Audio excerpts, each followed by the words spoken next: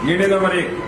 इत्यादि ट्राफिक व्यवस्थापनको लागि मुख्य चोकको चो चारैतर्फ पूर्व पश्चिम उत्तर दक्षिण तिन सय मिटर क्षेत्रभित्र कुनै पनि सवारी अब एउटा समस्या के आउँछ भने यो कार मेरो घर अगाडि गाडी पार्किङ गर्नु त्यो पनि पाउँदैन। मेरो दोकान हो मेरो दोकान पाउँदैन त्यो हामीले समिति तपाईँको समिति त अधिकार सम्पन्न होला के के हेर्छ हेर्छ नि कार्यविधि बनाइदिउँ न सवारी साधन पार्किङ गर्न निषेध तिन सय मिटर क्षेत्रभित्र कुनै पनि सवारी साधन पार्किङ गर्न निषेध गर्ने निर्णय गर्यो त्यसको कार्यान्वयन तत्काल गर्दै गराउने भन्ने छ भोलि बिहानबाट गर्ने लेखेको छ भोलि मिति यतिदेखि सुरु गर्ने भयो भोलि बिहानबाट दुई नम्बर सडक क्षेत्र अधिकारमा अधिकारभित्र सडक क्षेत्र अधिकार तथा सार्वजनिक स्थानमा निर्माण सामग्री तथा व्यावसायिक सामग्री यो फुटपाथ थप्नुहोस् ल। के अरे सडक व्य- व्य- व्यापारी के यसलाई? फुटपाथ भन्छ फुटपाथ राख्नका निम्ति निषेध गर्ने सरोकारबाट सोको जानकारी गराउन नगरपालिकाद्वारा माइकिङ लगायत सूचना प्रचार प्रसार गर्ने सात दिनको सूचना जारी गर्ने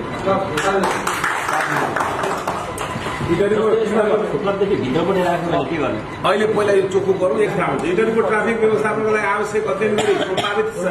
समाधानको उपाय सहितको प्रतिवेदन पेश गर्न दिए बमोजिमको कार्यदलले प्रतिवेदन पेश गर्छ काम पनि गर्छ अब के के गर्दा हुन्छ हामीले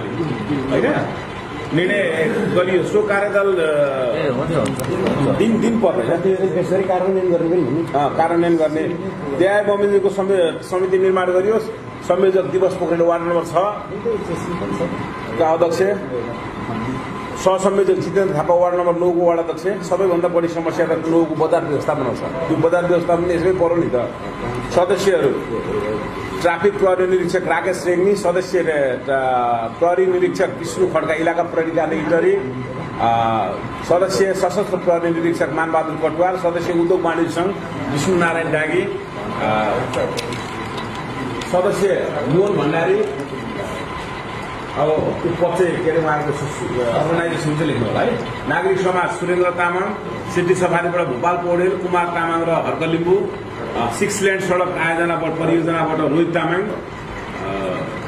बस मार्ग व्यवस्थापनबाट व्यवस्थापन समितिबाट सोम ढकाल म्याजिक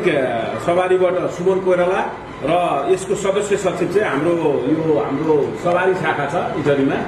यसको सदस्य सचिव गणेश भट्टराई ल पन्ध्र सदस्य समिति